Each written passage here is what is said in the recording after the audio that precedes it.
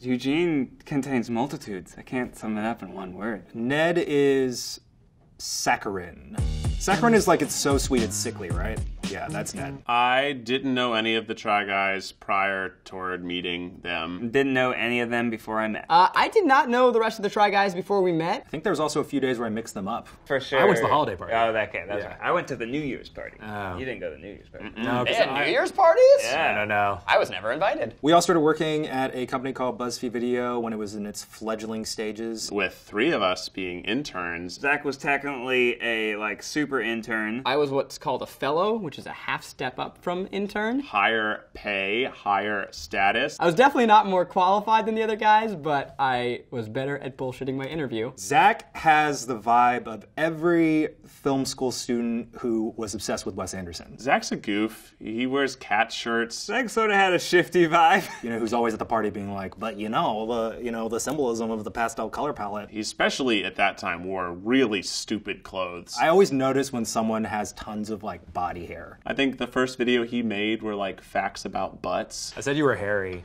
Yeah. You're kind of hairy and little and maybe like a little annoying. How did you know I was hairy? I remember meeting Eugene very specifically, and my first thought was, wow, fuck this guy. Eugene, I just remember being very intimidated by the way he dressed. He was in a tie. Eugene came into work wearing the deepest v-neck tee you have ever seen. Like it basically touched his navel. I'm pretty sure Zach probably cited a suit with a low shirt underneath. He always talks about that story. It's like a his favorite dumb one. outfit. It's the Yeah. dumbest thing you've ever worn. Looks good. I should also say he comes off as a little pretentious. I'm just gonna, I'm just gonna throw it out there. The reason why they dress well now is because they're friends with me. Uh-huh. I still dress shitty.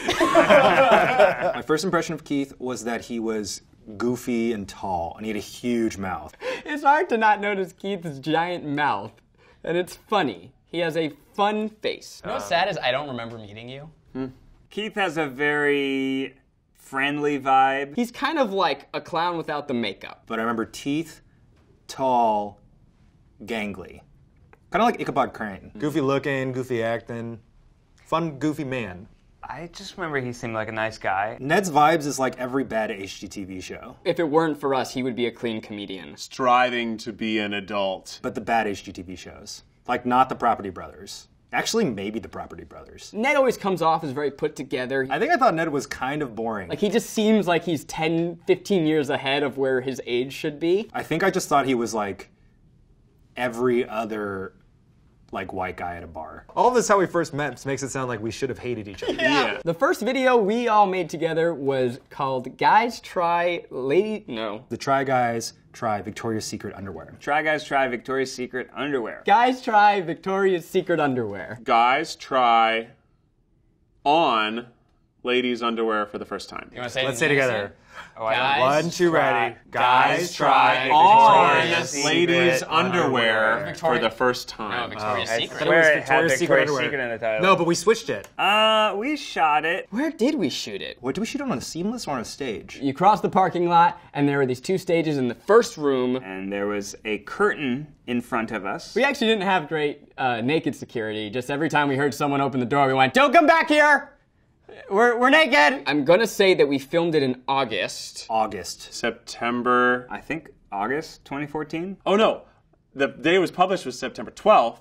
The day it was shot would have been September 6th. August. August 2014. 2014. I thought it was early September. For the first Try Guys video, it was both Keith and Zach's idea, but I'm gonna give more credit to Keith because I just feel like Zach's gonna try to take all the credit. The first Try Guys video was my idea. It was either Zach or Keith. No, that's not true.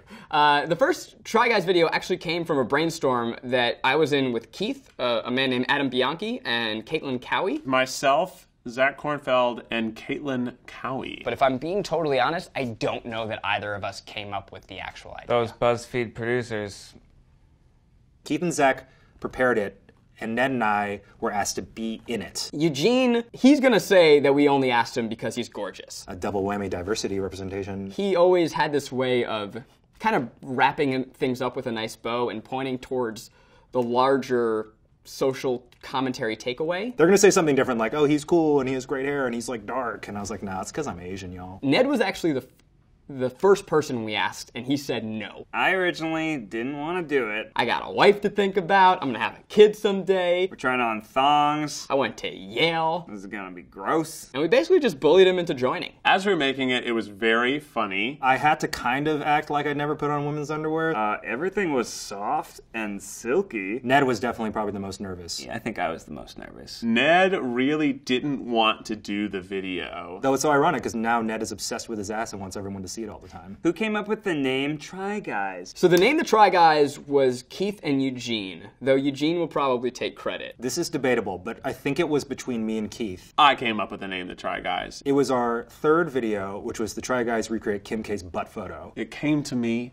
one night. Keith and Eugene were working on the same computer, and they just yelled up and they're like, "Hey, we need a name." So I had the idea about branding, and he had the idea of the name. He went, "Well, we're guys who try stuff. Why not the Try Guys?" And I said, "That is so fucking stupid." Kind of obvious, right? I feel like we could do better. Oh, that sounds good. Turns out we couldn't do better than that. We've been together for over four years. We've grown through countless new experiences, both on camera and off camera. I gained three brothers, and I never imagined it would be with uh, people that I'm so different from. They were all groomsmen in my wedding. Meeting these three ding dongs has been the greatest thing that's ever happened to me. We're the Try Guys, and that's how we met.